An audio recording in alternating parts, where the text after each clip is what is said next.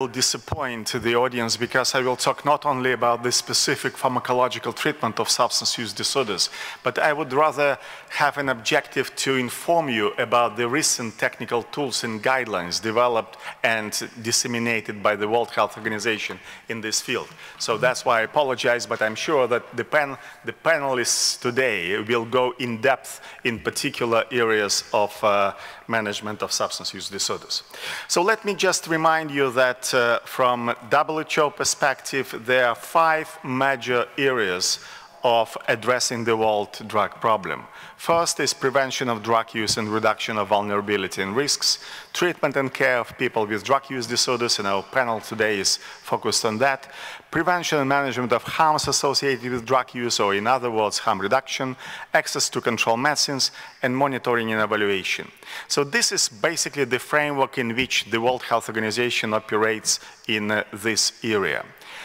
I would like to inform you about the very recent development. Uh, the, our Director General recently launched the mental health flagship program, which is aimed at the universal at promoting and implementing universal health coverage for mental for mental health.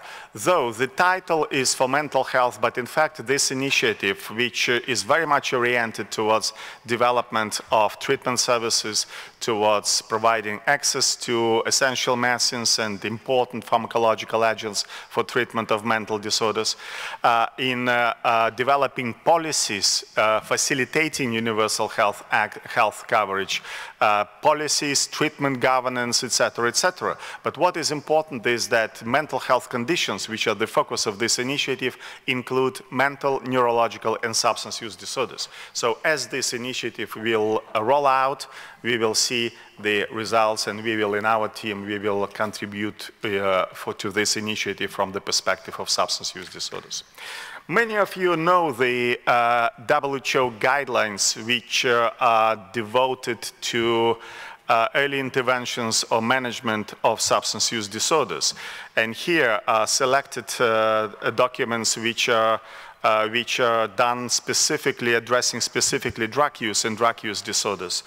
Uh, the, unfortunately, we couldn't find uh, time and resources to update the guidelines for pharmacological assistant, uh, for psychosocially assisted pharmacological treatment of opioid dependence, but definitely these guidelines from 2009 require some update, though all the recommendations, and we are very happy to hear that from many people, uh, that all recommendations, all major messages in these guidelines continues to be valid.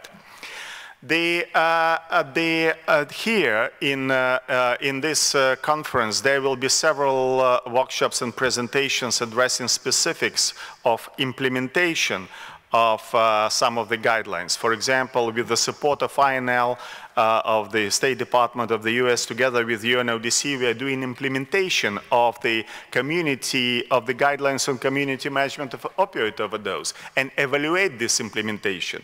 And these guidelines is basically of making naloxone available for, management, for managing opioid overdose.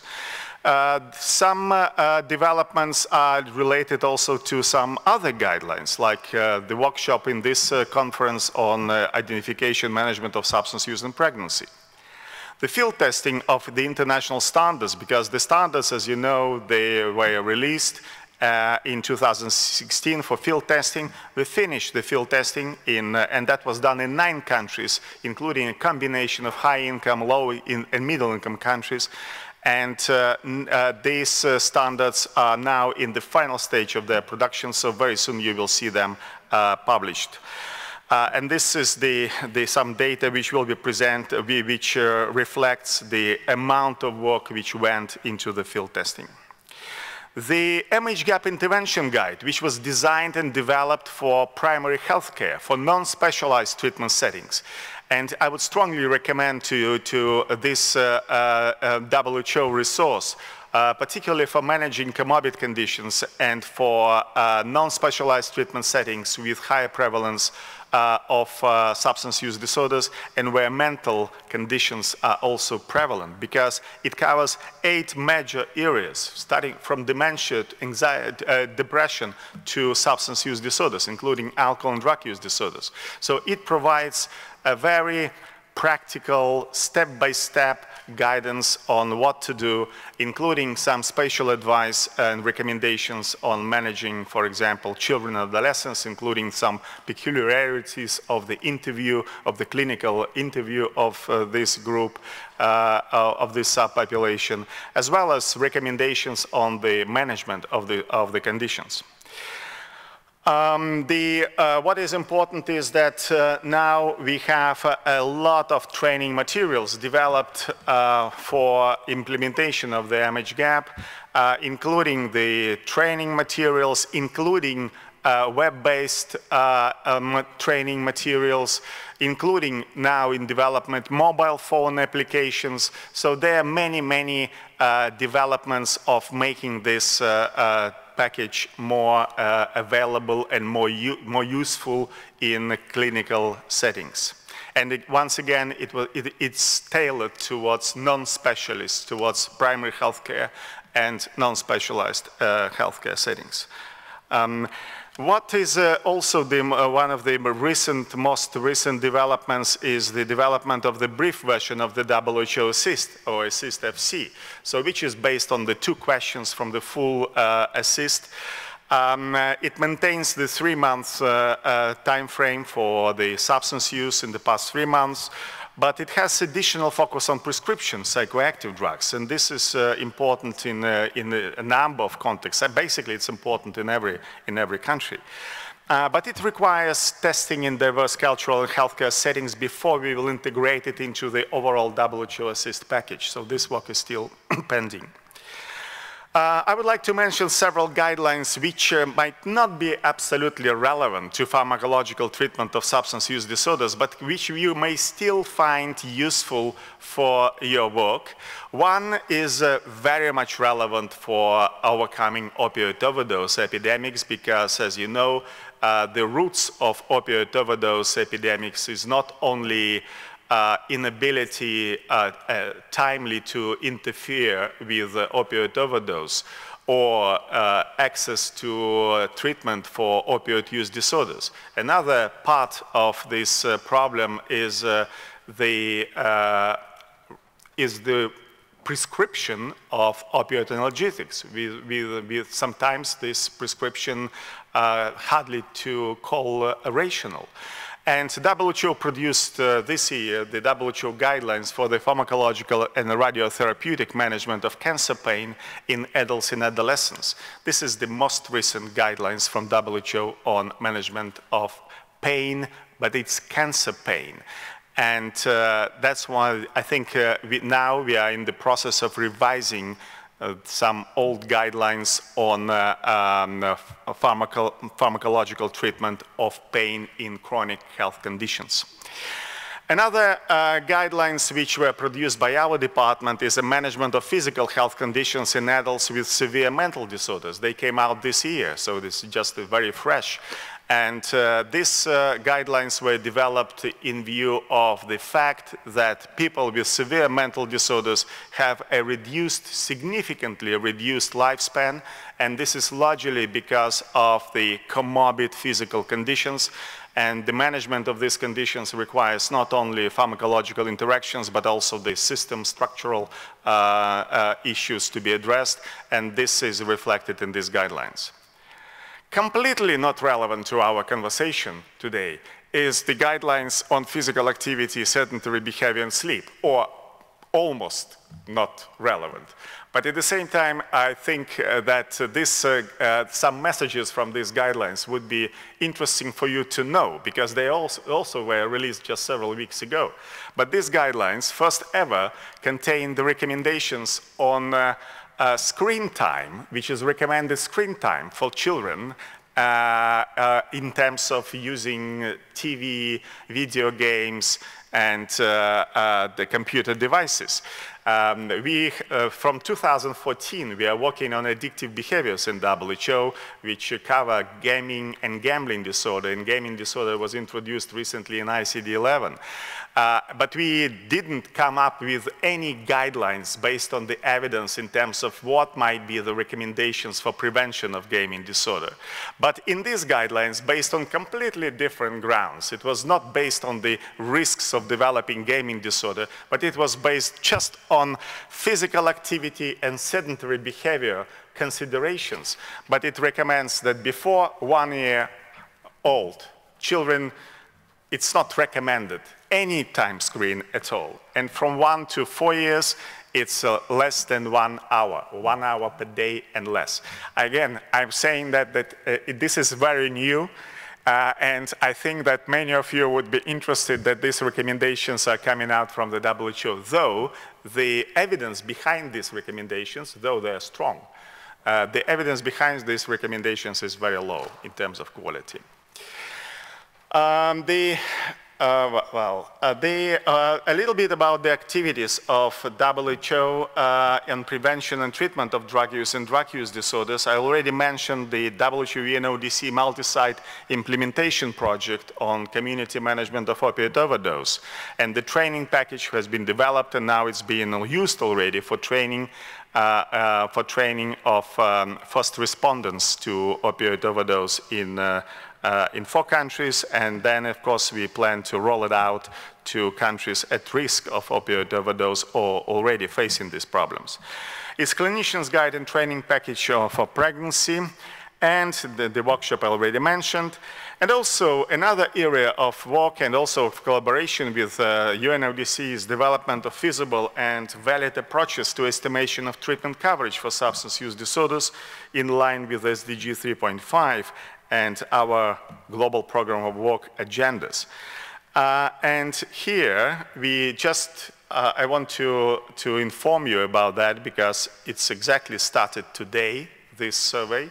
It's global survey on progress with SDG health target 3.5. So this, uh, uh, we hope that in two months time we will be able to collect information from member states on, uh, and the survey tool has two major sections, and this tool is basically the uh, one of the WHO tools is a new one because it's very different from the previous global surveys when we were focusing on alcohol and health. But in this survey, it has two parts. One is alcohol consumption and implementation of the global strategy to reduce the harmful use of alcohol, indicator SDG 3.52 in Sustainable Development uh, Goals framework. But also the second part of this, of this uh, uh, tool is the service coverage for substance use disorders. And this is indicator 3.51 when we don't have any good data now uh, for the global, uh, worldwide. So uh, for it has uh, it's built upon the building blocks of healthcare systems as developed by the World Health Organization, and it includes service delivery, health workforce, health information system, access to medicines, financing, and governance. And again, we hope that uh, collection of this information uh, from member states will allow us to, uh, together with UNODC, to uh, compile the information that will uh, allow us not only to assess the situation right now, but also to monitor the situation in the future. Uh, what are the planned activities? Planned activities which are relevant for, uh, again, for this panel is uh, clinical management and review of public health responses to cannabis, which is uh, we have worldwide an increase in demand for cannabis use disorders the core competencies for health professionals to address substance use and related disorders, which is, which is based upon the WHO workforce health workforce strategy. We have such a strategy till 2030, and uh, for many areas of, uh, uh, of healthcare, uh, competencies were developed or are being developed, and we, we, we plan to address this issue, these issues for the field, for our field is completion of the work on ICD-11 for disorders due to substance use, and this work has, was completed, and development of integrated guidelines for identification and management of substance use disorders based on the ICD-11 nomenclature and classification. Uh, just several weeks ago, uh, uh, the World 72nd World Health Assembly, a month ago, adopted the 11th revision of the International Statistical Classification of Diseases and Related Health Problems, which, as you know, is one of the major WHO tools for facilitating uh, proper diagnosis uh, and management of different health conditions in, uh, in health and social systems. And uh, this, uh, this list will, uh, this is a huge uh, classification, which is also fully based and oriented towards e-health records. So it's completely uh, electronic. Uh, and uh, the, uh, this, the World Health Assembly requested the Director General to publish this classification in six languages official. And you know that we are not selling this classification. It's open to public. It, this is a difference with DSM-5. Um, the, uh, it should be all digital tools and support mechanisms will be uh, put again in the public domain. Uh, and we need to provide support to member states in uh, transformation, in a transition to ICD-11. With the starting date of implementation of ICD-11 is defined as 2022, so it's still several years ahead of us. Some countries may implement it earlier. Some countries may, will definitely need a transition period that may last five years at least for some countries. Um, but also uh, that will, uh, and, and, also the member states requested a regular update for ICD-11, and this update will be done, uh, um, in terms of categories, it will be done every five years probably. But incremental update in terms of descriptions, definitions can be done uh, more frequently. What are the changes? And this is already uh, before, on several occasions we presented the draft of ICD-11 explaining the differences with ICD-10, but now we can say that this is the ICD-11 as endorsed by the World Health Assembly. There are several uh, innovations. First of all, in ICD-11, we provided opportunity for code conditions due to two major classes of new psychoactive substances, synthetic cannabinoids and synthetic cathinones. That's why we divided in the classification cannabis from synthetic cannabinoids, whereas in ICD-10, it was cannabinoids. We, uh, we removed caffeine from other stimulants.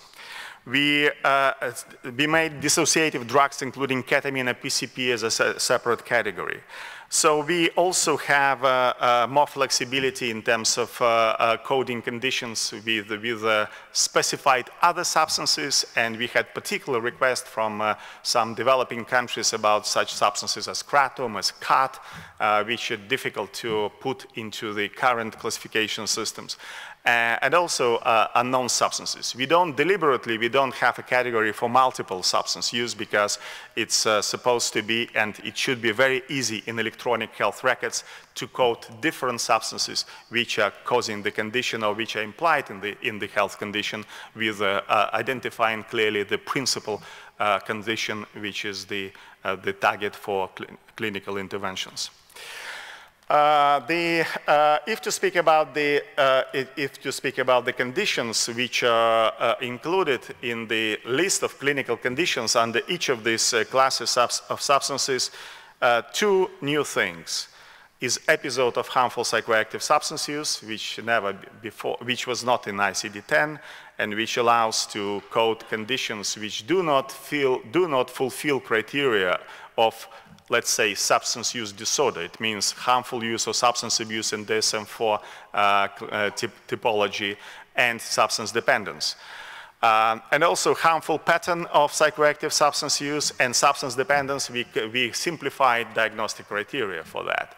The episode of harmful use, we, we believe that this will uh, facilitate the implementation of screening and brief interventions for conditions which uh, are associated or re are resulting from substance use, which are the reason for admission or for, um, uh, for, for, demand for treatment, and at the same time when uh, health pro professionals do not have neither financial nor other grounds to provide treatment interventions. I will not go into the, these details, is taxonomy, uh, but also we have, uh, as before, in chapter 24, which is factors influencing health status, we have uh, what is called hazardous substance use and hazardous gambling and hazardous gaming. And these are conditions which are not belong to mental and behavioral disorders because they are not disorders per se, but these conditions are important for providing early interventions, for detecting this patterns of behavior and to providing early interventions. Field testing now is going on. It's, it's, um, uh, it's, uh, uh, there are two studies. The second study we largely finished with, you probably saw the publication in Addiction of Louisa Degenhardt. We commissioned this work of analyzing of concordance between ICD-11 criteria and DSM-5 and, uh, uh, and ICD-10 criteria uh, based on World Mental Health Survey datasets and secondary data. and the, we are now going into uh, into the uh, field testing of ICD-11 with this uh, list of countries. And if you are interested to participate in that, that will res result in fine-tuning and paving the way for incremental update of classification, you're welcome to contact us. And I mentioned this morning that we had the first forum, and just now we finished the second forum, and we look forward to meeting many of you at the third one in 2021. Thank you.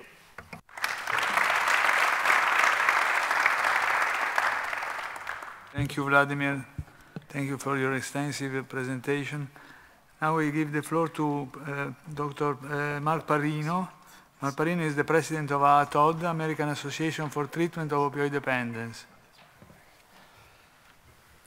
Mark, you have the floor.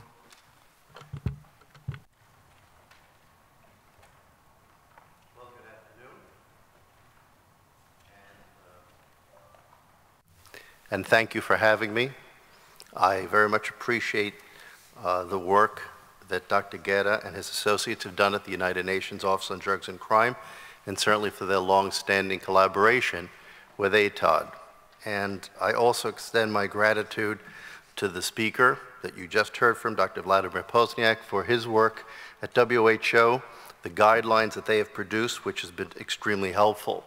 And Brian Morales, who serves as the Division Director of the Global Demand Reduction Programs in our U.S. State Department. He's been very supportive of our work, especially working in conjunction with UNODC and WHO. I've been working uh, with some of Dr. Gerra's associates over the last several months, Annette and Elizabeth, and uh, they have certainly my points of view on how to approach uh, these particular issues, especially when you deal with a global policy of improving the quality of care when we're treating patients who do need medications to treat their opioid use disorder. The documents certainly provide excellent guidance to people in our field, both in clinicians and for policy workers. Now, I have to say some general observations in reading through these guideposts. The first is that it's critical to learn from past lessons in treating this illness we have a lot of experience, there's lots of research, there's a great deal of clinical practice. One of the great dangers that clinicians and policymakers can make is they ignore the, what we've learned. They ignore the lessons of the past. This is a great error, and it's something that we work to confront all the time. The second point is that when guidance documents are produced, it's important to have an oversight mechanism in place. I've dealt with this matter for 40 years. I can tell you when you have guidance documents with the appropriate oversight, you will not have a sustained method of consistently meeting treatment goals. It's also important to have system integration, and that's reflected in some of the guidance documents that are being developed at the present time. And the truth is that systems will not integrate themselves under any circumstances. There does need to be some monitoring and guidance influence in order to bring the systems together and to work effectively over the course of time. Now, I'm also grateful to my long-term partner and friend, Dr. Icro Maremmani, and you're going to hear from him this afternoon.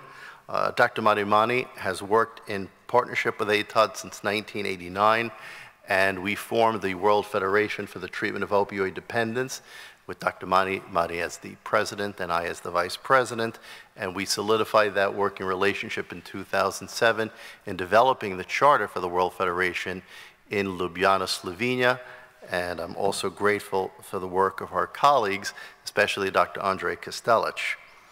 Now, Dr. Mani published one of my recent articles in the World Federation Journal, and it provides a history of how medications are used to treat this disorder.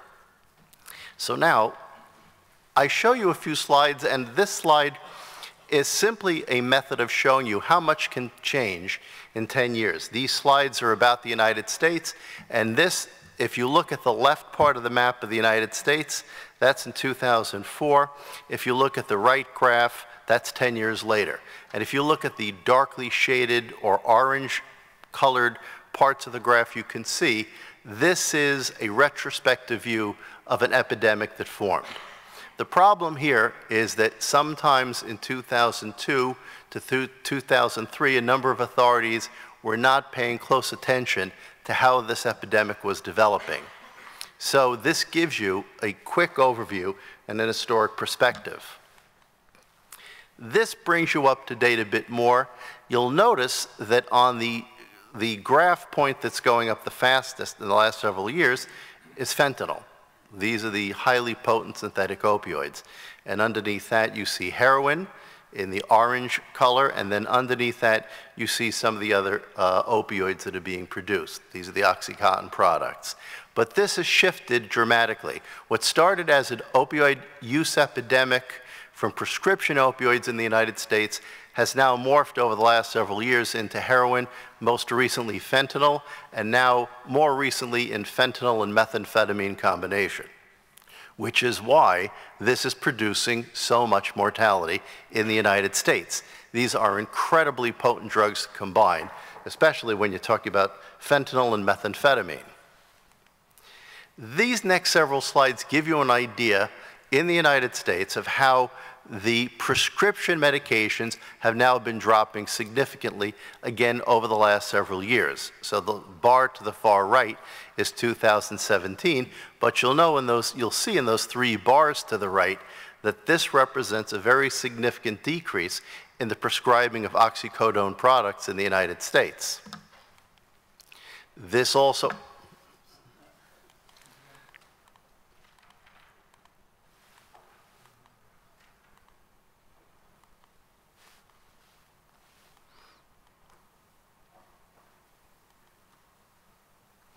The same thing applies to the use of hydrocodone products, same period of time.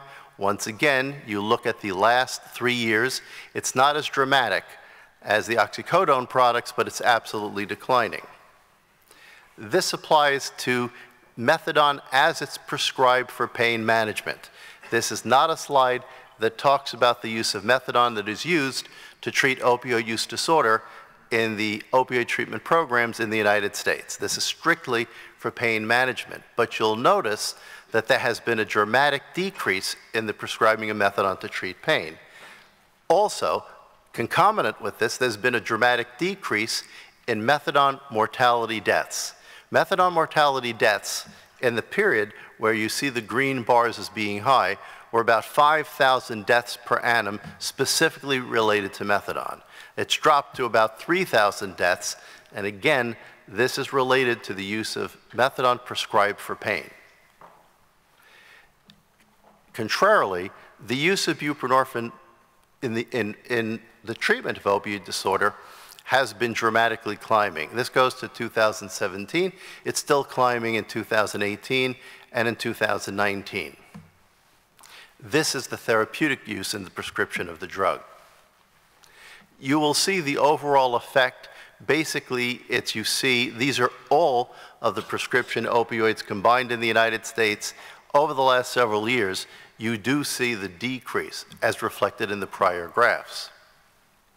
Now this slide is a bit busy, I understand, but this presents prescription misuse data from the radar system. The radar system in the United States is from the Denver Health and Hospital Authority. It tracks how prescription opioids are used and abused through a number of systems. The association manages the system that reports drug use from newly admitted patients in the opioid treatment programs.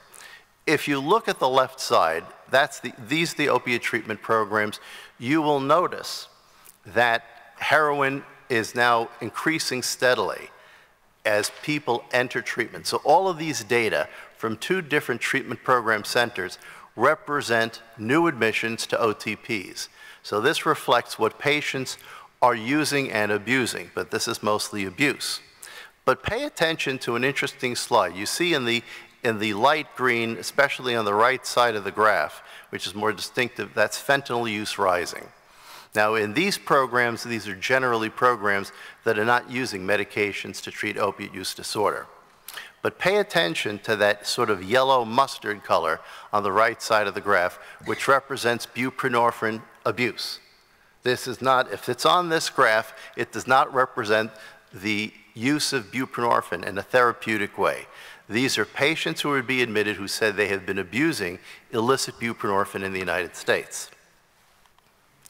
So what have we learned? The Food and Drug Administration has learned an interesting and problematic lesson. Several years ago, they started encouraging pharmaceutical companies to develop abuse-deterrent formulations.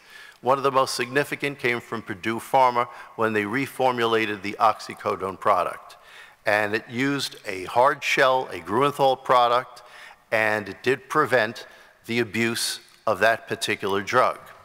Now, interestingly, and this this sort of picture develops this and, and demonstrates the issue, no matter what we're doing in the United States, if we limit and we reduce the opioid drug supply too precipitously, in other words, if the pendulum swings to the other direction, and I think it has swung too far into the other direction, you decrease the access to legitimate opioids to treat pain.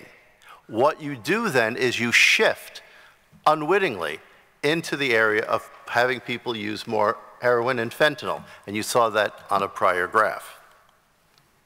So the summary is the prescription opioid continues to decrease as opioid deaths increase, methadone decreasing and buprenorphine is increasing.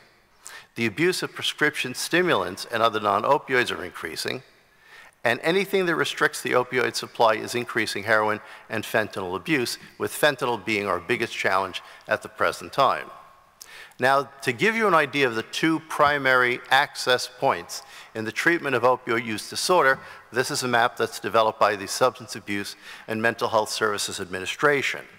This means that the programs are listed, and there are about 1,600 treatment programs in the United States at the present time. These are all certified by the federal government. They have to meet extremely clear plans and requirements from both the federal government and the states.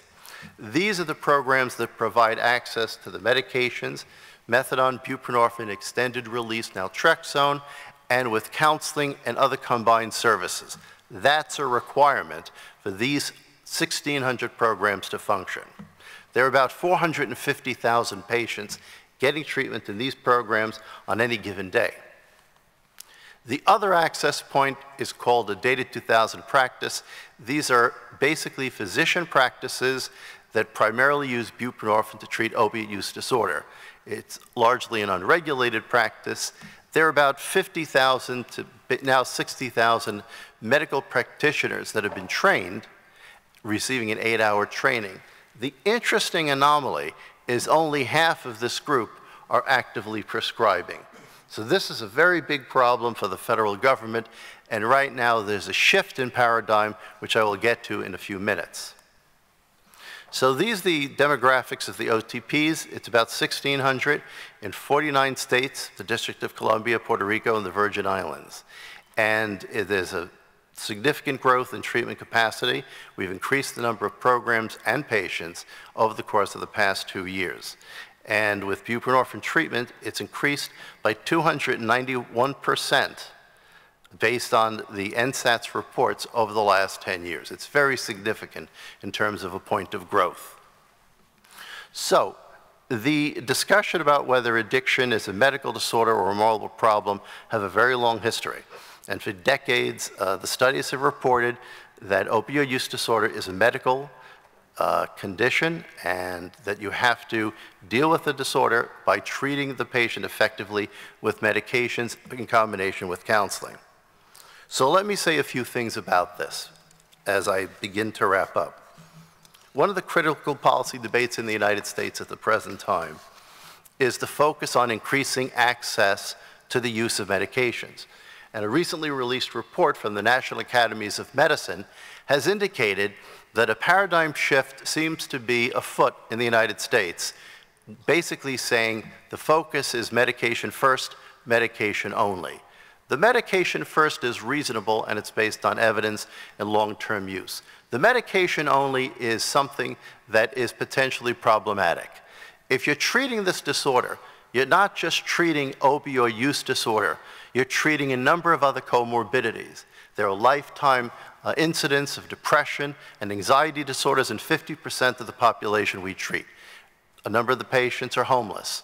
A number of the patients have suffered from long-term trauma prior to getting into treatment. The concept that medication alone is ultimately going to be effective in treating this disorder with its comorbidities is, I think, a false sense of reality.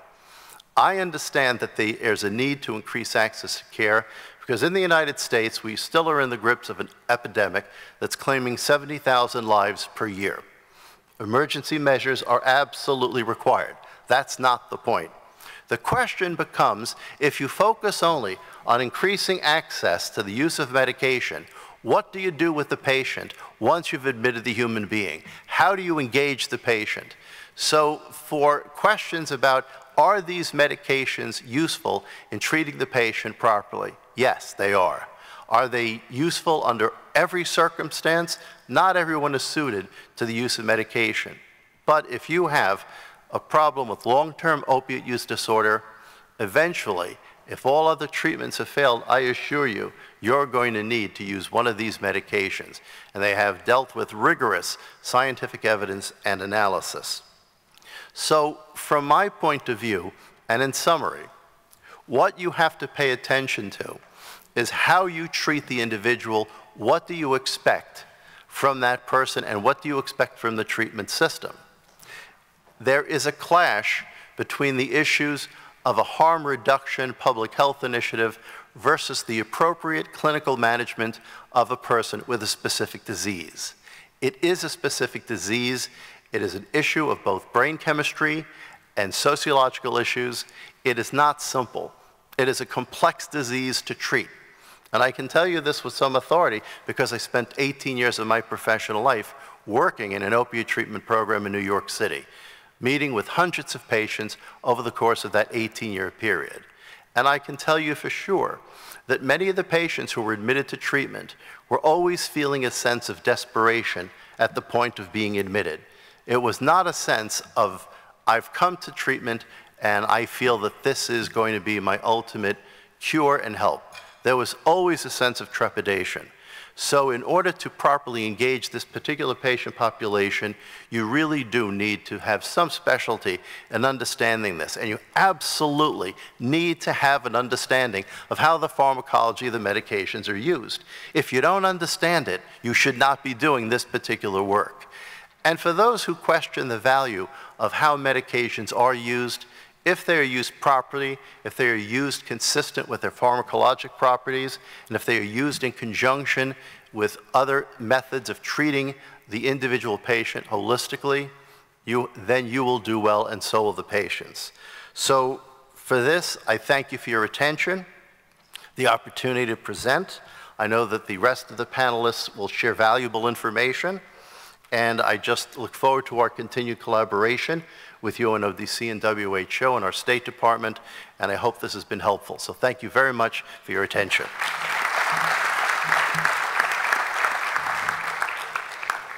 Thank you. Thank you, Mark. Now I give the floor to an expert in, from Russian Federation. I think the, the best expert in addiction treatment in Russian Federation coming from St. Petersburg. That is Evgeny Krupitsky, Professor Evgeny Krupitsky. You have the floor.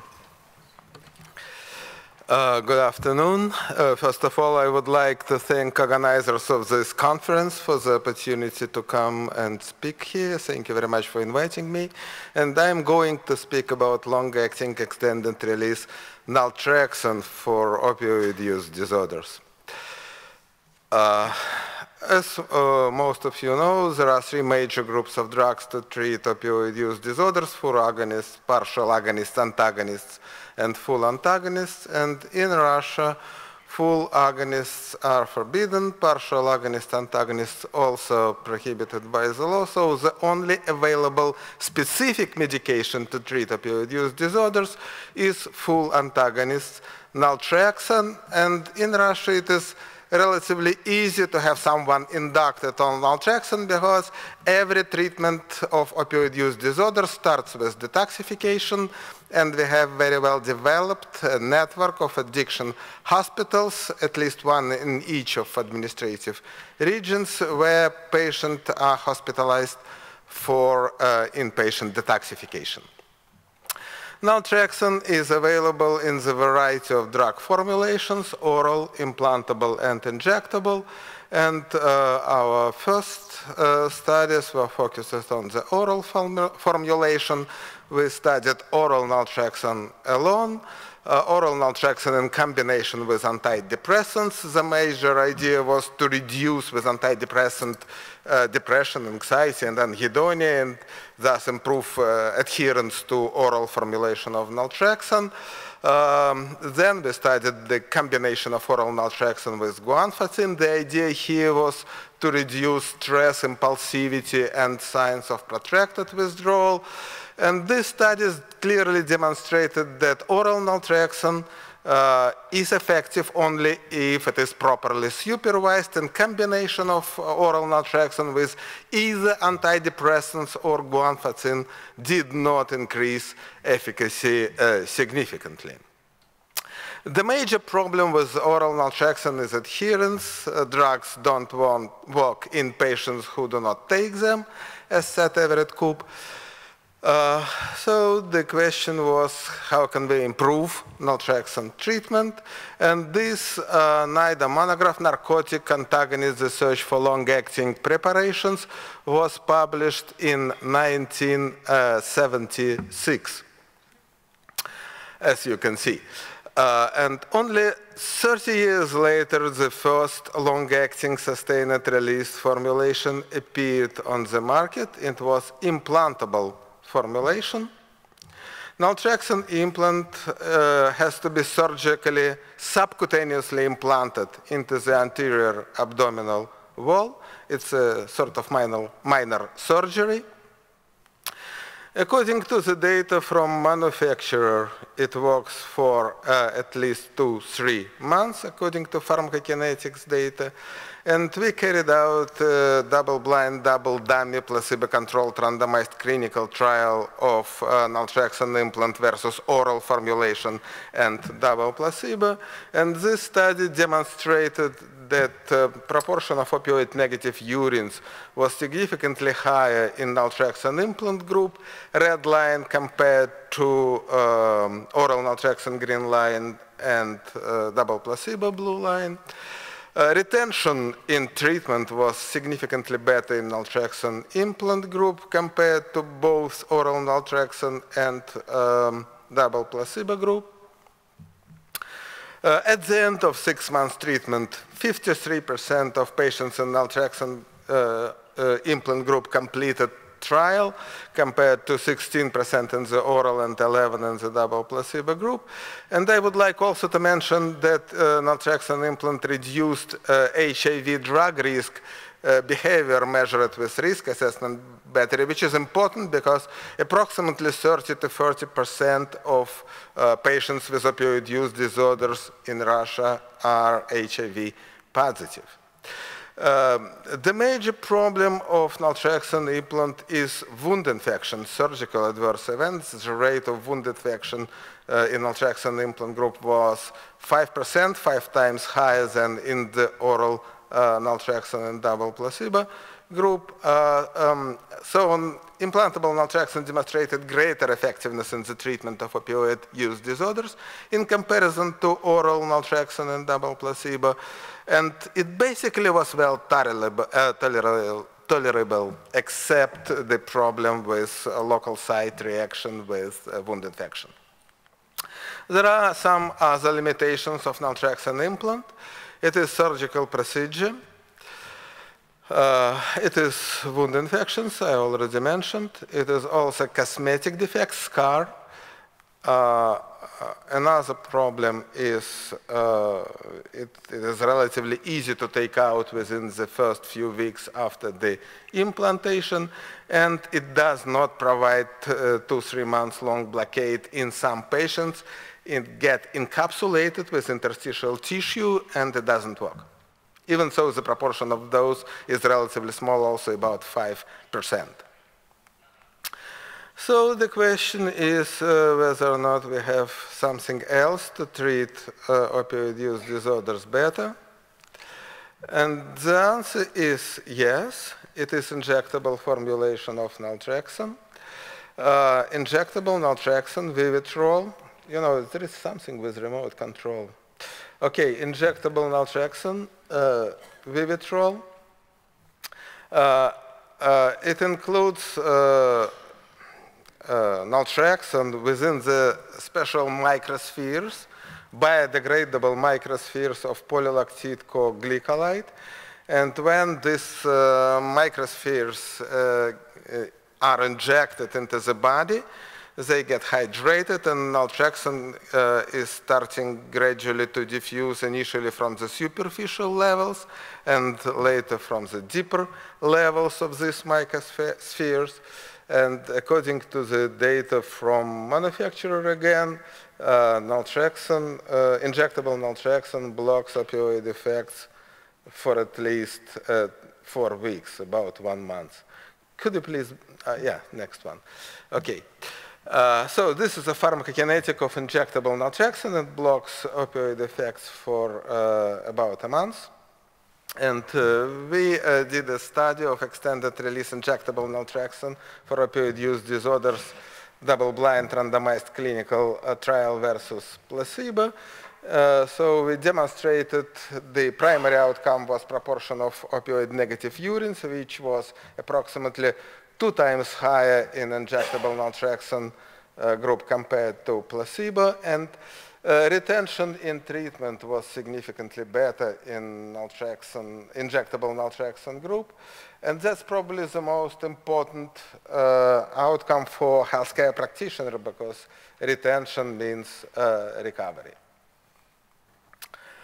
Uh, I would like also to mention that uh, injectable naltrexone also reduces HIV drug risk behavior, which is important, as I already mentioned uh, tolerability of uh, injectable formulation of naltrexone was better than implantable one. And uh, uh, based on the results of our studies, uh, injectable naltrexone was uh, FDA approved in the US initially and one year, one year later in Russia. Uh, Nora Volkow mentioned injectable naltrexone as one of two major advances in the treatment of opioid use disorders. And in the recent uh, manual of uh, international standards for treatment of drug use disorders, injectable naltrexone is quite well uh, represented. Still trying to get next slide. Could you please help me? Okay. So uh, overall conclusion from our naltrexone study, oral naltrexone is effective if properly supervised. Long-acting sustained release formulations naltrexone implant is more effective than oral. It is long working, two, three months, but it is uh, related, it, it, it, requires minor surgery and uh, related risk of surgical adverse events. Injectable naltrexone, Vivitrol, easier to use, it has good tolerability, um, and uh, it works shorter, unfortunately, just one month. Uh, both uh, injectable uh, and implantable formulation reduces HIV drug risk behavior, but the question was whether or not uh, extended release formulation of naltrexone might help um, uh, to improve adherence to antiretroviral therapy in patients with opioid use disorders and in its turn its efficacy. To address this question, we carried out the study of naltrexone implant versus oral naltrexone in HIV clinic. Uh, 200 recently detoxified uh, HIV positive uh, uh, antiretroviral therapy naive opioid addicted patients were randomized in one-to-one ratio to 12 months treatment of either naltrexone implant and oral uh, naltrexone placebo and antiretrovirals or oral naltrexone and implant placebo and again antiretrovirals. Treatment lasted 12 months. Retention and addiction uh, treatment was better in naltrexone implant group, similar to our previous studies. Uh, in particular, uh, the proportion of opioid uh, positive visits was lower in naltrexone implant group and cumulative proportion of opioid negative urines was higher in naltrexone implant prototoxin group. And better retention in naltrexone treatment uh, brought about better retention in antiretroviral therapy and uh, better adherence to uh, antiretrovirals uh, measured with special MEMS cups. This is a special technology uh, when bottle where we put antiretrovirals has a special chip which records date and time when uh, the bottle was opened to take antiretrovirals. So adherence was uh, better in naltrexone implant group, and that uh, in its turn brought about uh, better, oops, could you please return? Uh, better um, outcome of HIV uh, treatment, viral load. So uh, improvement of retention in addiction care in this study clearly demonstrated better outcome of antiretroviral uh, therapy because the primary outcome was, uh, was uh, viral load.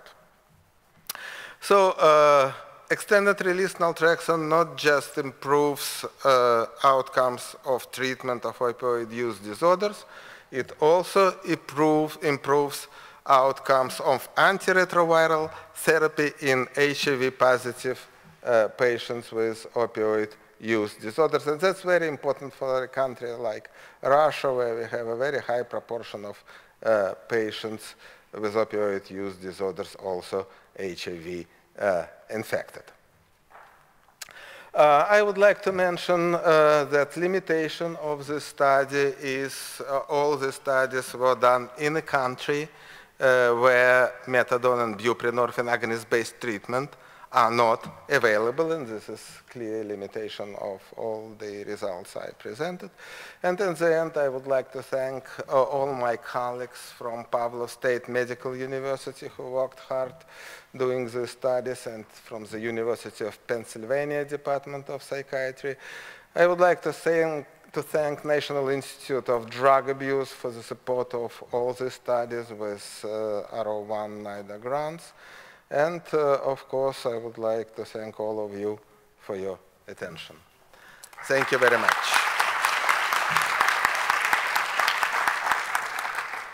Thank you, Professor Krupitsky, for this very interesting overview about naltrexone and naltrexone slow release, sustained release.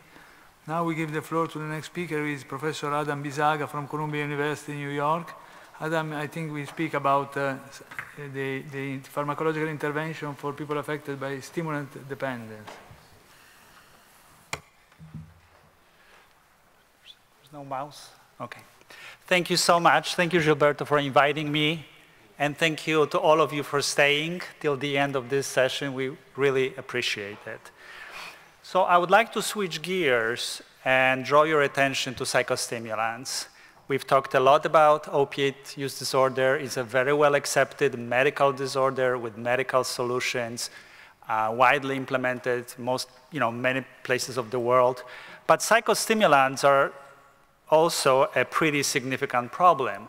The latest World Drug Report confirms that we have about 70 million people who use psychostimulants that's twice or even more than twice as many as opioid users. And only of those people, about 15%, some people put it even higher, have a psychostimulant use disorder. But only a small portion of those people are in treatment. And, you know, people who have psychostimulant use disorder have significant uh, health and psychosocial problems. So treatment is clearly a priority. Nevertheless, most of the patients are not in treatment, and even those that are in treatment are not really treated with any medical intervention. So why is it that there is a disorder that is very similar, but we cannot seem to be able to implement a medical model of treatment with pharmacological treatment? So UNODC uh, called a group of experts for a meeting uh, last two years, and we reviewed the evidence about new treatments um, for psychostimulant use disorders, and we have produced a discussion paper that is available in the front, which this presentation is a very brief summary of this discussion paper. So we are clearly accepting that medications are a standard of care of opioid use disorders. So can we find a medication-based treatment for psychostimulant use disorder. To this date, the only treatment the patients receive are psychosocial interventions, uh, but even the most effective evidence-based psychosocial interventions have limited evidence, especially for people who are frequent users, those that have cognitive impairment, as many of them have.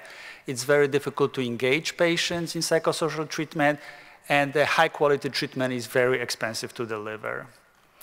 So the current framework for treatment is that most patients start treatment with inpatient treatment, with some kind of residential program where they get so-called detox, medical and psychiatric stabilization, is usually uh, there is a very short-term use with medication to stabilize the patient, but really inpatient treatment has no impact on the drug use. Most people would, would relapse. Therefore, uh, one of the well-established models is to transition those patients into residential treatment, which is more longer-term program, which is based on the model of therapeutic community. Uh, it only includes psychosocial interventions, is a very expensive treatment to deliver because it's residential. It, some patients indeed have large decreases in substance use. However, many patients relapse after this treatment. The alternative is to transition those patients into a long-term outpatient treatment. And currently, the way we have it, it's also so-called abstinence-based, so only patients who are actually doing well are retained in the program. They only receive psychosocial interventions. It is an inexpensive program. However, there is a very small reduction in, drug use, and therefore the long-term impact is very limited. So I just want to make sure that we are all on the same page that the medical framework is a key to the understanding of addiction. Um, it, it is a biopsychosocial disorder. We know it, deliver, it develops in people who have genetic predisposition. In those vulnerable individuals, use of substances changes the functioning of the brain, many functions of the brain um, that are then responsible for the symptoms, such as disturbances of mood and cognition, disturbance of decision-making capacity, abnormal reactivity to cues and stress, overwhelming craving and difficulty with controlling the behavior, controlling the impulsivity, and an impaired insight and impaired ability to care for self. So this is very much like any of other chronic psychiatric disorders. We know that once you have the disorder, most of people have a chronic relapsing course. So this is just to remind people that uh, the medication is only one of the wheels that are necessary for people to have a good outcome. We cannot forget that other interventions are also important, the psychosocial treatment, which helps people develop skills, the, the self-help, mutual help groups that creates the framework, uh, network of people supportive of recovery, and of course, all the other recovery-oriented activity. The purpose of this metaphor is really that if you have all four wheels, you're much more likely to go a long way on such a train. And uh, with less than, than that, you know, the outcomes are less than optimal. So as far as the psychosocial pharmacological treatment, there was a, a lot of work that went over the last 30 years into trying to develop a medication. This is one of the graphs that, um, that presents the, the, the neurocircuitry and the various receptor systems, and a lot of medication development effort have focused on some of those, uh, some of those uh, various receptor systems. The one that has been really the most promising is the one that have actually looked at the dopaminergic synapse. And um, that's the one that I would briefly like to review. All of the other did not really have any consistent findings. So the most effective treatment is the agonist-based treatment, which is similar to the treatment that we have accepted as a dominant model of treating opioid use disorders. The rationale for that is really pretty strong in that, that people who are acutely use substances, they have rapid elevation of monoamines, um, but people who use substances chronically have this chronic decrease of the functioning of the dopaminergic system that seems to be responsible for the symptoms of the disorder. And this is the, the low energy, the low mood, the, the decreased cognition, decision making, increased impulsivity. This is the reason why people are unable to remain abstinent. And the thinking is that we, if we can correct this deficit, right, if we can correct this pervasive hypodopaminergic states, perhaps we can alleviate some of the symptoms and have improved outcomes. Um, and indeed, the agonist type medications are the medications that will do that, that will increase the basic kind of not noradrenergic tone. And we are very familiar with agonist medications. They are used for the treatment of other psychiatric disorders. The most well-known medications are methylphenidate and um, prescription amphetamines and modafinil, which is uh, also a prescription stimulant. Um, another rationale for this treatment is that we know that there is a high comorbidity or overlap between psychostimulant use disorder and ADHD. And uh, we know that those medications can be very, very useful in treatment of attention deficit disorder. So the thinking is that medical use of this medication, the, which shares some of the effects with the uh, psychostimulants of abuse, can stabilize the patients, can keep them in treatment, and can allow them to access other psychiatric and medical services offering medications can actually motivate patients to receive additional treatments that the program may offer. And patients generally like those medications. Unlike other medications that we have tested, for example, antipsychotics, agonists are very well tolerated and liked by the patients. Patients are adherent to those medications. And those medications also improve cognitive functioning, which is often impaired in those patients when they present to treatment. Therefore, it's much easier for them to take advantage of psychosocial interventions when they are taking those medications. Now, many are concerned about safety. Is it safe to give prescription stimulants to someone who is addicted to stimulants? Um, and indeed, those medications are controlled substances because they do have a potential for abuse. So when you have a treatment program, you have to think about ways of minimizing these risks. But similar concerns have been, of course, present in treatment with opioid agonists, which are even more uh, potentially toxic medications and have been able to be incorporated into the treatment. So it's not something that we haven't done before using extended release preparation of this medication that have slow onset and slower rate of elimination will provide stable blood level, will minimize the liability for misuse and have a better adherence. And indeed, there is a potential for adverse cardiovascular events. Those are stimulants that do affect blood pressure and heart rate.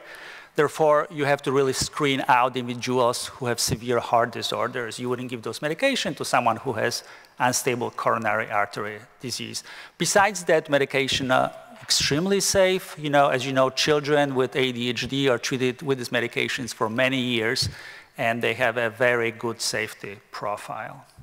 So we have looked just this year, I, myself and colleagues from Brazil, Dr. Tardelli and Fidalgo have conducted a meta-analysis of the studies that were published using those medications. So we've conducted a Cochrane style of systematic review and meta-analysis.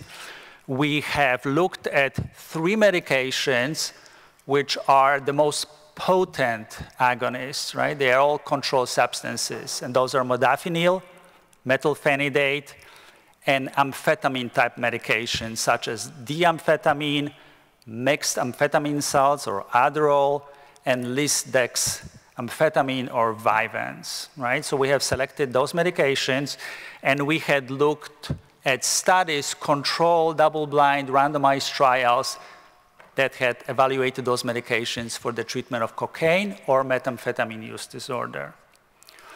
And as an outcome measures, we have selected a sustained abstinence, which is whether how many patients that were treated with these medications were able to achieve two or three weeks of complete abstinence rather than looking at decrease of use or some other measure. Sustained abstinence, especially at the end of treatment, has been shown to be the best predictor of the low long-term outcome. So there is a review by Dr. Carroll that has shown that this is really probably the best outcome of treatment, and that's why we selected that.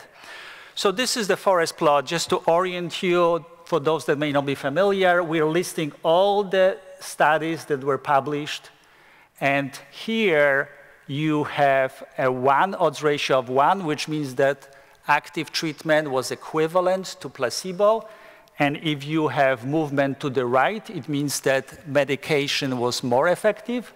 And here is your average for the whole group, right? And here you have statistical signal. So when you put together, this is organized by either cocaine use disorder or amphetamine use disorder. So if you look at cocaine use disorder, you see that there is a significant effect of the medication so patients with cocaine use disorder treated with any of those three psychostimulants have a significantly better outcome. For methamphetamine use disorder, unfortunately, there is no such effect. Okay, so methamphetamine use disorder is more difficult to treat. And this is, but however, when you pull them all together, you still have a significant effect. So if you treat all stimulants globally and all prescription stimulants as a treatment, you still have a significant effect. Now, when we looked at each of the medications separately, what comes out is that prescription amphetamines, right? So mixed Adderall or D-amphetamine are highly, highly significantly more effective than placebo. The modafinil, which is thought to be a more kind of acceptable medication, there is no such effect, and there is no effect for methylphenidate. Again, you have um, you have significance for all three medications. So the conclusion of this study is that prescription psychostimulants are effective in promoting sustained abstinence in the treatment of PSUD, especially cocaine use disorder, and we graded this as a low quality of evidence. However, prescription amphetamines were particularly effective promoting abstinence in patients with cocaine use disorder, and we rated it as a high quality of evidence. So this review has a little few uh, more studies than the previous review that was conducted in 12, 2016 in Cochrane, published. Our has been presented but not published yet, which again shows that there is an evidence that for sustained abstinence, there is a significant effect of the medication. They have looked at more medications that we have looked. And they conclude also that this, there is a low quality evidence, however, the psychostimulants are better than placebo in the treatment of psychostimulant use disorder, right? So just to wrap up, you know, coming back to how do we treat those patients, you have to have, of course, the comprehensive approach. We cannot forget that it's very important to attract patients to treatment. Patients have to have a reason to come to treatment. You have to reach out to them. You have to conduct outreach work, offering them as Gilbert always says, food, shelter, and a welcoming environment. And you do offer a way for people most acutely intoxicated to be stabilized. But then you really offer a long-term treatment that includes medication to help patients have less craving, lower impulsivity, better mood, better cognition, and of course being able to use less or remain abstinent as a, as a key intervention.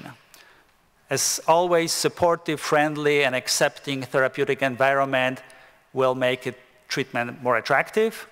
You do need to offer psychosocial treatments, and best if those are evidence-based interventions, uh, because do patients have to learn how to change their behavior, how to change their abnormal responses. You want to connect them with peers, uh, peer networks, and you want them to enhance the, the, the activities that will be compatible for their personal growth. And it's important that treatment also diagnoses and treats co-occurring medical and psychiatric conditions because, of course, those are very frequent in those population. So you want to screen and treat other substance use disorders, such as alcohol, such as opioids, with evidence-based treatment. You want to diagnose and treat psychiatric problems, and you want to diagnose and treat medical problems. And we still want to make sure that we collect evidence. As we roll out those programs, we want to collect evidence to show that those are indeed impactful and cost-effective ways of treating these patients. And I think we are planning to invite other people from other countries, perhaps to form a network of programs or countries that will want to kind of develop a protocol for this intervention and actually conduct a multi-country trial. We have discussed that at the meeting of experts, and uh, hopefully we'll have a chance to, to do it again so we can move away from just doing the, the, the academic-based efficacy research and actually do effectiveness research or even implementation research in the community. But I think we're pretty confident the evidence is very, very good, probably as good as many other psychiatric disorders, that this is really the model that we should at least test. Uh, and hopefully we'll be able to reach all the millions of people that, that do need this help. So let me stop here and hopefully we'll have a chance to, to discuss it more. Thank you.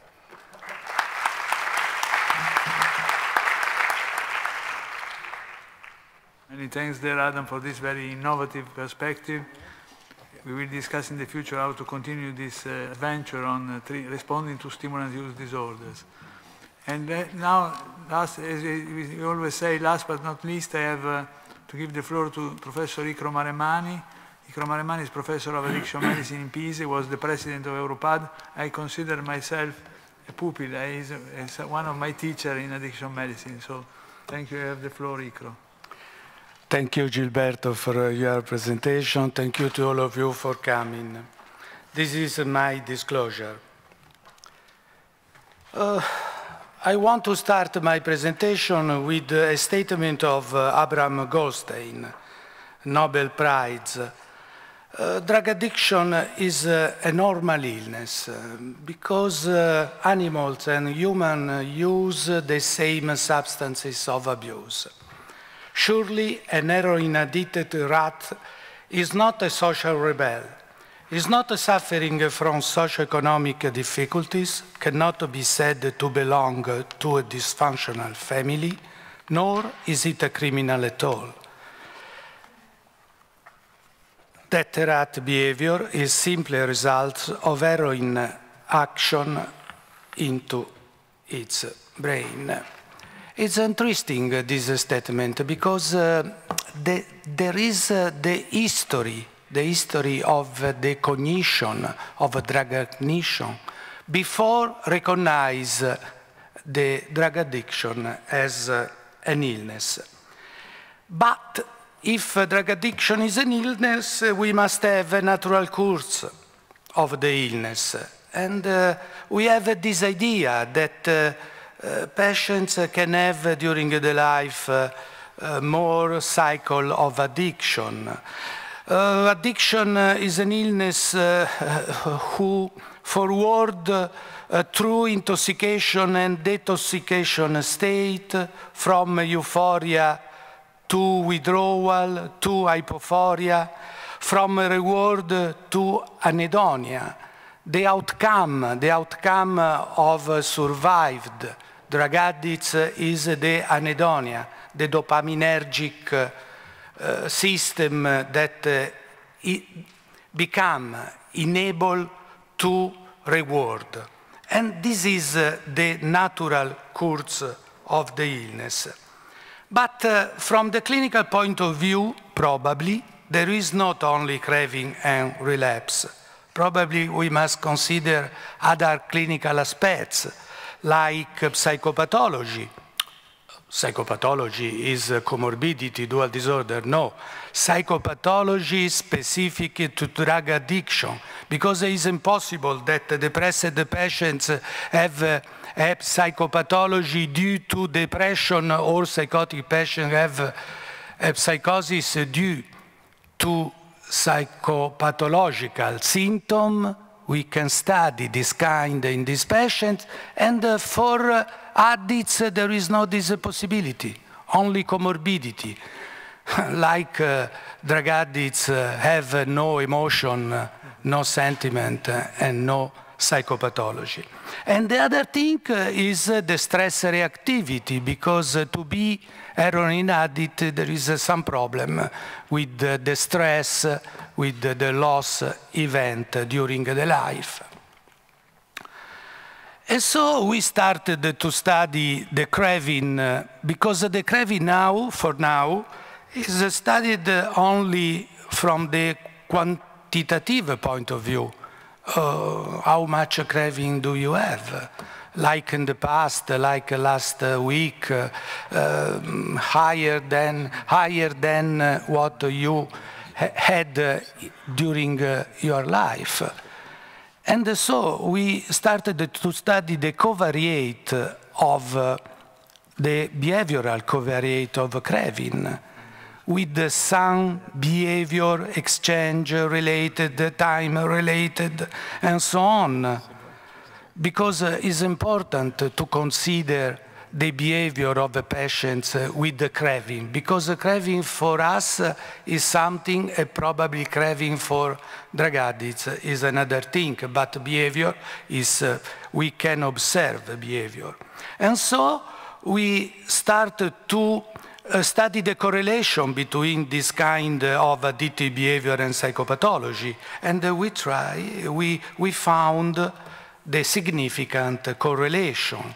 We found in reality something due, in our opinion, to the substance use disorder.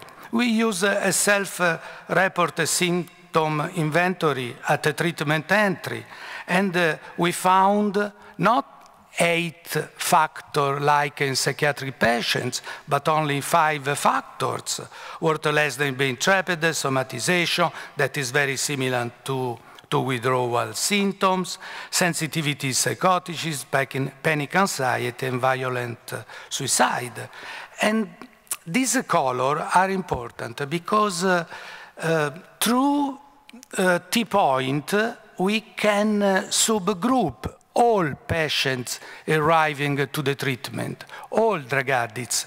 Of course, the color is of different intensity, but the color are different. And uh, the reactivity to life events, there is uh, the same life events reactivity when uh, I become drug addicts and especially heroin addict. In PISA, we have a long experience uh, in studying uh, the post-traumatic stress disorder spectrum. That uh, is the reaction very similar to the symptomatology of post-traumatic stress disorder. But uh, uh, regarding uh, the, the life events, loss and stress and traumatic events, or considered traumatic by by our patients, by our psychiatric patients. And so we try to study uh, survivors, young people survivor, non-substance use disorder to the earthquake of L'Aquila in Italy, and uh, young, young, young people not developing this kind of symptomatology. And 32 was the cutoff uh, dividing uh, these uh, two groups. And really interesting is the fact that the majority of heroin addicts without a mortal traumatic events, but long-lasting, long-lasting in heroin, have a PTSD spectrum up to 20, uh, 32 points they develop a sort of uh, traumatic PTSD disorder. Not only, not only, so heroin addiction is the results of a post-traumatic stress disorder. In some case, in some case, is uh, also a consequence of the illness without a mortal uh, events in the, in the anamnesis. What do we have learned from the agonist opioid treatment of heroin use disorder patients? Well, we have learned to give at least water to the thirsty. Okay, but in some part of the world it's impossible still now to give water to the thirsty. And we want to do more, much more. But uh, we have some contradiction in the treatment of opioid dependence. The disease is recognized as a chronic disease, but the treatment in generally is limited in time. A very strange example of a chronic disease. And, and block, uh, blocking opioid receptors by antagonist opioid medication is encouraged. Blocking opioid receptors by agonist opioid medication is not encouraged. But the action against uh, the heroin in the brain is the same, is to block receptors. But the action on the brain is different from antagonist and agonist of opioid. Antagonist doesn't support the reward. Agonists are supporting the reward in our patient. We have learned that uh, surely if we, you, if we are using Dole and Nyswander methodology, the results are better than harm reduction treatment. But this is not sufficient to increase the number of treatment according to the methodology of Dole and Nyswander. In our experience, we consider four steps to block the craving for uh, heroin, increasing the dosage the blocking dosage can reduce, minimize heroin use, but we must increase the dosage. If we want to stop alcohol and benzos use, if patients uh, start to use alcohol after stopping the use of heroin. And we must increase the dosage if we want to eliminate the dreaming of heroin when patients are not using heroin. And especially, we must increase the dosage if we want to eliminate the craving when patients is seeing another people using heroin. We are also convinced that uh, the opioid blockage is not the same for all patients and not the same during uh, all the phases of the treatment because uh, we have four cumulative levels of debt, an opioid debt. The first one, uh, of course,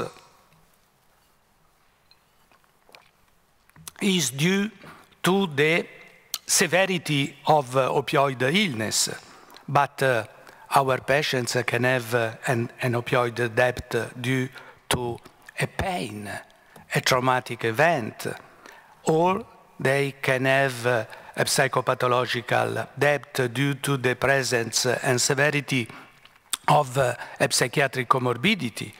And uh, they, lastly, they can have a, a debt due to the stress to the presence and severity of stress.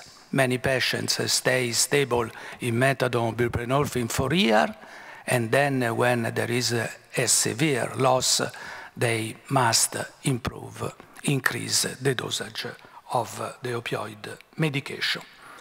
In other words, the opioid blockage is needed if you, if you want to stop craving for heroin, if you want to stop maladaptive behavior, infectious disease, and polyabuse, if you want to stop the use of heroin during the pregnancy, and uh, if you want to control the psychopathology, but uh, it's not needed if you want to resolve withdrawal symptom, and if you want to resolve the better social adjustment. Eh, it's very easy to have a better social adjustment, but it's very difficult to stop the progression of the illness. Is the reduction cessation of substance use sufficient to stop agonist treatment? First of all, methadone and buprenorphine probably don't have the same effects on the specific psychopathology of, of, of heroin addicts. If uh, you try to study the survival and treatment of uh, patients with the predominant panic anxiety on somatic symptomatology or has been trapped symptomatology at the start of treatment with buprenorphine, with methadone, you have the same results. But if uh, you consider sensitivity psychoticism and violent suicide as a predominant symptomatology at the treatment entry, the result is different. Buprenorphine is better for patients with violent suicide, and methadone is better with the sensitivity uh, psychoticism. And uh, the real interesting thing is that only for people in therapeutic communities important the predominant symptomatology at treatment, at, at the start of treatment. In fact, violence, suicide, predominant patients have, have the poorer results in therapeutic community. Uh, I remember you that uh, this kind of psychopathology is uh, present in all patients arriving to the treatment. It can be very, very little or much more severe, but is present in all patients entering treatment with the medication or treatment in therapeutic community without medication. And uh, this is a, a, strange result, but people using more opioid medication during the treatment have less reactivity to stress during the treatment uh, recorded by the post-traumatic stress disorder spectrum, lower, lower symptomatology. So, I can say that uh, we can avoid premature interruption of treatment. Probably is not sufficient that the patients can reduce the intake of uh, of uh, substance abuse to stop treatment. At the present is a problem because in some part of the world and also in Europe, many, many treatments are stopped in time because there is no money to support long-time patients. But uh, we think that we must consider not only the situation regarding uh, re regarding the use of the substance of abuse, but uh, we must also consider the psychopathology, the severity of the psychopathology before put off uh, for the treatment uh, our patients. And also the reactivity to stress must be less than 32. And uh, of course, we must not observe, not observe um, craving behavior in our patients because uh, otherwise out of the treatment the relapse is very, very easy. I hope that my speech uh, uh, inserted the doubt that the premature interruption of a treatment is not a good thing for our patients and we must uh, improve the accessibility to treatment and continue to treat our patients. How long? The illness is chronic. In medicine, for chronic illness, chronic treatment. Thank you very much for your attention.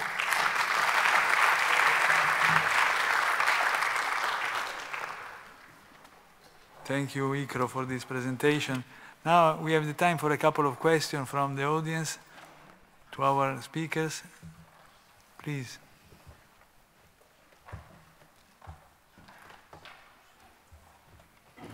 Hello, thank you for your presentation. Uh, Professor Adam Bisaga, do you know the effect size of the treatment of cocaine use disorder with psychostimulant, comparing patients with and without ADHD? And the second question, uh, I would like to know your experience with lisdexamfetamine. So the effect, we did look at that, and there is of course not enough studies to make a you know, statistical determination, but it looks like it has no impact. So equally effective for patients with and without. The counter argument is that most patients are not really diagnosed. That it's very easy for people presenting with psychostimulant disorder for treatment not to really diagnose ADHD because of the difficulty of collecting retrospective information, the presentation, as you can imagine. And the second question was about uh, your experience with lisdexamfetamine. Right. So Vyvanse, I know that there is a large... Because I love the lisdexamfetamine to treat this passion. Right, so there is, a, there is no good control study to date, but there is a large ongoing Australian study that has a very good methodology. They have published the methodology, and I think they have presented actually some preliminary experience at the mm -hmm. CPDD, and I think another one, one and a half year will have results. But I will be surprised really if, if it will be any different than what we have seen so far because those are very similar medication, right? Uh, Vyvanse is very similar to Adderall in terms of patient's experience. Um, okay, thank you. You're welcome. Uh, so I'm from Sri Lanka. Thank you very much for giving us a very comprehensive uh, information about uh, in our, of our field. I just want to ask a small uh, question from you, sir, from, uh, from the same uh, professor, Professor Adam uh, Bisaga. Uh, we, we conduct rehabilitation of drug addicts in Sri Lanka. And our period is uh, one year, six months rehabilitation, and six months we give them vocational training, and then by the time they get back to the society, they can find a job with that certificate that we get they get. And also during the time when they are, um, after they are reintegrated back to the society, we also have a system to follow up, uh, to make sure that they do not get back to the previous behavior. And uh, in uh, the capital of Sri Lanka, Colombo, uh, in Western Province, those guys who are getting back to the society, uh, they get back to the previous behavior. And uh, our success rate is about 40 to 45, sometimes to 50%. But outside the province, Western province, uh, we are little more successful. We reach about 60, 65, 70 and all.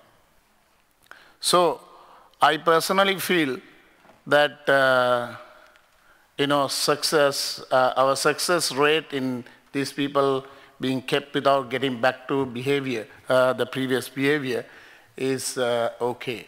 So what I wanted to ask you, sir, that uh, you, were, you were saying uh, giving them medical, medical treatment or medication is uh, more effective. and then what I wanted to ask you is, how or how, how long or how much of time will it take for, or will it, uh, how is it uh, successful on your thinking as to uh, on, the, on, the, on the relapse rates? If you, or we should continue both medication and in-house rehabilitation? I mean, you've raised a lot of very important points, and we talked about this with international standards and also with this. And really, there's not enough time to say what is the evidence-based treatment. But our, I think, uh, opinion shared by probably most of us is that long-term residential treatment has effectiveness only for a very small group of patients. Most patients do not benefit long-term from this treatment. It's a very expensive treatment. I know that it's embraced and used by, by many countries, but it, really the evidence showing that it's effective and cost effective is very, very limited, if any. Now, in the same way, I think, you know, thinking about chronic disorder that you would be able to treat with a half a year of very intensive intervention and then let them go back. There is really no evidence that this approach is actually effective, and we have seen it with opiate dependence. In terms of the medical management, you know, medical support with, with the medications, we are only at the beginning of looking at that. Most studies are, you know, 12 weeks uh, maybe 24 weeks if we're lucky. We don't know how long, but probably it's also, like Dr. Maremmani just said, a long-term uh, long-term deal. Those are people with chronic disorder. You need to keep them in the medical setting like any other chronic disorders. You need to check in with them on a regular basis and give medications if needed, diagnose other conditions. It's great that they get vocational support, that they are supported in the communities to live. Those are all very important. But I think those are not sufficient for majority of the patients, especially patients who have a severe use disorder. Now, many people may not have a severe use disorder or no disorder. They just got caught using, using stimulants, and those people may benefit. But when someone really has impairment in their behavior at the scale that we, we talked about this year, I think they need more than just vocational rehabilitation. I mean, that's at least my view. I don't know if Gilberto wants to say something. Uh, our aim is really to reach a, a, large number of people who are not, uh, have no access to treatment uh, today. And if we use certain tools, such as a pure residential treatment or counseling or only psychosocial intervention, a large majority of patients simply they are not attracted by the services, are not coming to the services. So in terms of impact on the society, on the community at, at large, I think that uh, the use of medication also for medication-assisted therapy, also for stimulants could be a part of the future. Clearly, we have had a lot of disappoint, disappointing and frustrating experience until now.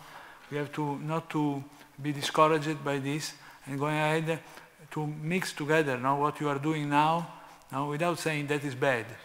What you are doing now is probably the best uh, solution you can do today, but to uh, maintain your mind as you demonstrated open now to in integrate also with, inter with pharmacotherapeutic intervention. Thank you, sir. Other questions? In this case, you are ready for, for going home and relax. Thank you for being here with us, and thank you to our speakers all together.